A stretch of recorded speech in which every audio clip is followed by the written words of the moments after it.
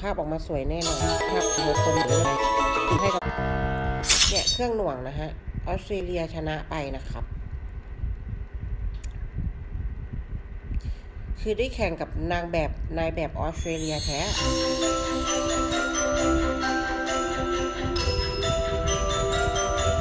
ออกก่อนมันบอกสามสิบแล้วอะขอบคุณนะ เราช่วงนี้เราจะไม่ได้ทำคลิป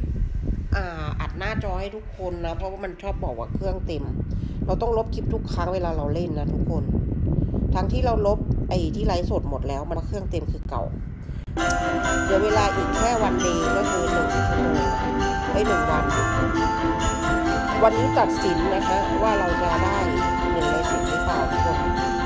ตอนนี้เรายังอยู่อันดับแปดคือเราอยากติดหนึ่งในสิบ